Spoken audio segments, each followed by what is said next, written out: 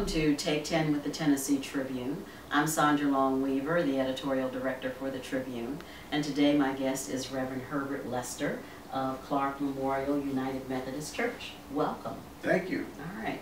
And we're going to talk today about a community meeting uh, that you are doing in conjunction with Blakemore United Methodist Church on August 31st. Yes. Okay. And the meeting uh, is based, Gideon's Army, which is an activist group here in Nashville, has put together a report on uh, profiling and driving while black um, and how uh, people are stopped and what, what they're looking for. And the report is based on police data. So why is it important to get this information out to the community? What are you hoping to accomplish? Well, hopefully, people in the community, once they are informed, and people in African American communities are already aware of the reality.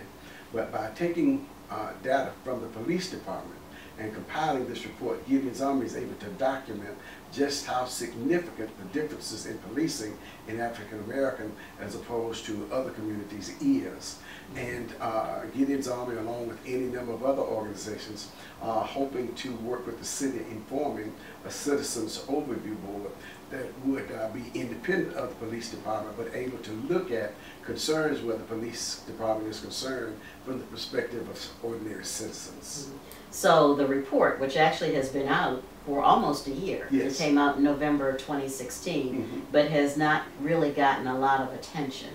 So the report will be presented looking at the figures of arrests or stops in African, uh, of Af- African Americans compared to whites or Hispanics or other groups in Nashville. um, Yes. And then, and then taking action steps uh, to really, or talking about what action steps can be taken. Yeah, like the, uh, the uh, Citizens Overview Board Mhm. and um, uh, other actions that people in the community might take. You would that a report as well done as Gideon's Army's uh, report is, Mhm. and done in conjunction with the Divinity School at Vanderbilt University, would have garnered much more attention than it did. Mhm. Uh, there is still, excuse me, some, um, should we say, opposition to uh, a citizens overview board from uh, uh, any number of areas in city government, and we're hoping to generate enough citizen support for that that we can overcome any opposition to the idea that the police ought not be policing themselves, Mhm. because what we have as a result is exactly what's happening on our streets right now. So what would a police oversight board do? How would that be helpful? Well, uh, there are any number of cities who have them, and the idea is that here is a body independent of the police department, able to receive complaints from citizens and then look at those and investigate those complaints uh, objectively, uh, uh, and then make recommendations to the police department, or if it's criminal activity, to the district attorney or to the appropriate bodies. But here would be an objective body appointed uh, uh, with well, with some members elected from the community, uh, uh, representation from government, even from the police department, but a majority of citizens uh, looking at what the police department does. Okay, and has there been discussion with uh, city officials about uh, this happening? And You said there's some opposition. Oh, sure. Uh, Is the Um, administration opposed to it? Yeah, the uh, mayor has, uh, I believe, even contracted to bring some people in to look at policing in Nashville and ways of improving police-community relations. But asking the police, or giving the police the power to police themselves, is a little like putting the uh, fox in charge of the hen house. Okay, that's one way of looking at it. So uh, if there is an oversight board, are you hoping, this meeting is August 31st, are you hoping to have the board in place by January or, and how many people would be on the board? Uh, well, everything is still in the formative process. Okay. Uh, uh, but we're meeting, meeting with people from uh, city council, uh, uh, from uh, other groups in the community to generate uh, both uh, support and information so that citizens are acting with knowledge about Mhm. what's going on and uh, hoping to see it become a reality as soon as possible. I doubt if this January uh, uh, anything would happen before then, but you know, We never know. yeah, we can always hope. Yeah. Now, uh, can you talk a little bit about some of the things that the report shows? Um, Uh, well, it shows the uh, tremendous disparity between the number of people stopped in African American co- communities, even sometimes by African American police officers. Mhm. Uh, uh, and it demonstrates how much that disparity happens in over-policed communities. For example, uh, we talk about, uh, and I don't know if the report uh, specifically talks about juveniles, but uh, there was a uh, activity that uh, 100 black men Yes. sponsored along with the uh, police department, a junior academy, and then they worked along with the mayor's youth initiative. But in talking about that program, they talked about the fact that most crime among juveniles happens and is committed by African American youth.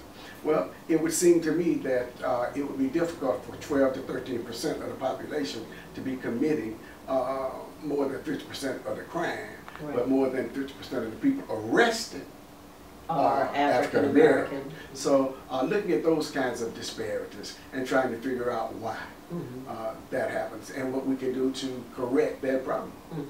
So are, as you're talking with city council people, are you starting to gain support? Are they hearing what you're saying about this? Oh yeah, I think that to- that the uh, the idea of a citizens overview board will certainly has support from some council people, and uh, we're hoping that some of those people will join us on the 31st at Clark to talk about uh, both the report from Gideon's Army and actions people in the community can be involved in. Uh, uh, churches can become involved by talking about this issue, informing their members of its importance. Uh, civic organizations, uh, everybody in the community needs to be both aware and engaged uh, in trying to uh, create this body and to increase the community's capacity to address other issues.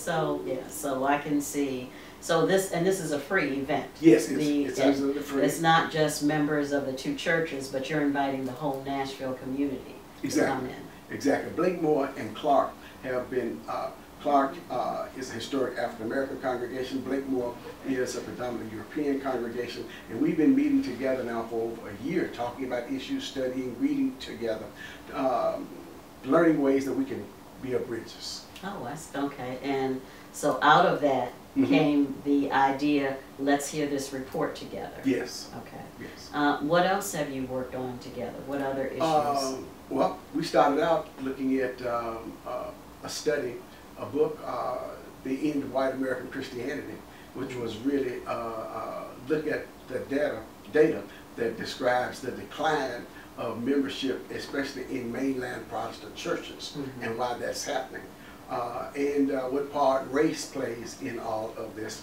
and how the same phenomenon is also happening in mainline African American churches. Mhm. And so we talked about that. Uh, we've talked about um, some other things, built personal relationships, spent time together, and look forward to doing some other things together. Okay, well, this sounds like a pretty big issue that you all are tackling together.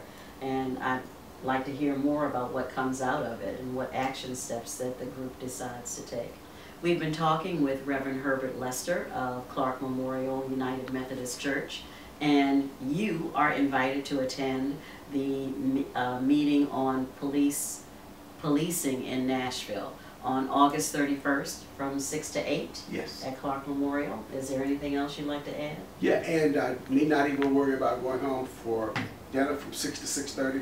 Refreshments, childcare will be provided. So we hope you'll join us. All right. Thank you very much, and we'll see you the next time.